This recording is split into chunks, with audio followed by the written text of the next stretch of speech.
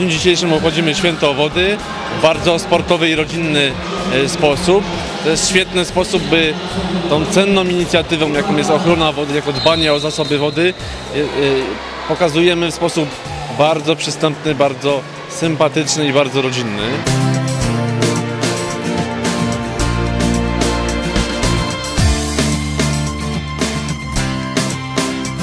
22 marca był ogólnoświatowy Dzień Wody i chcieliśmy to połączyć z taką imprezą, ponieważ wcześniej mieliśmy ideę zrobienia pierwszego dnia wiosny na basenie, właśnie w taki sposób rodzinny. No i połączyliśmy to z tym Dniem Wody, ponieważ uważam, że to jest ze sobą bardzo spójne. No i jak widzimy impreza trwa, frekwencja bardzo dobra. W sumie 23 rodziny się e, zgłosiły, mamy ponad 60 uczestników. No przyznam szczerze, że jak na pierwszy raz to frekwencja bardzo fajna.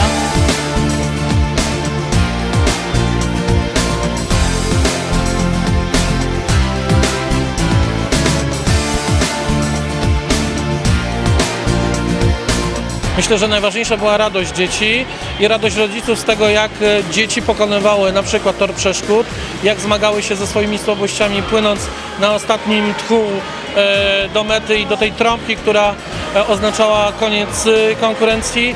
Myślę, że najważniejsze jest właśnie to, że mm, nie było takiej niezdrowej rywalizacji, ale przede wszystkim była bardzo sympatyczna zabawa, bo generalnie miało być to, jest to święto wody, więc chcieliśmy świętować i świętowaliśmy właśnie w ten taki bardzo wyjątkowy sposób.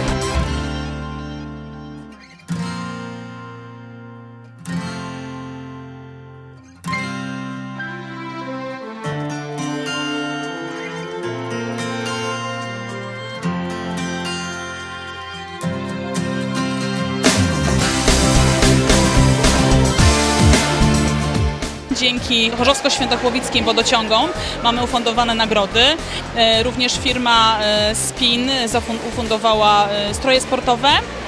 Myślę, że nagrody, które są, są typowo rodzinne. Można spędzić czas z rodziną i poznać miłych ludzi ogólnie spędzić sympatycznie czas. Każda konkurencja jest taka wymagająca wysiłku. tor przeszkód, y, sztafeta rodzinna, rzucanie do celu, y, nurkowanie na czas. Pierwszy raz w życiu na materacu, pierwszy raz w życiu na torze przeszkód, pierwszy raz w życiu grałem w koszykówkę.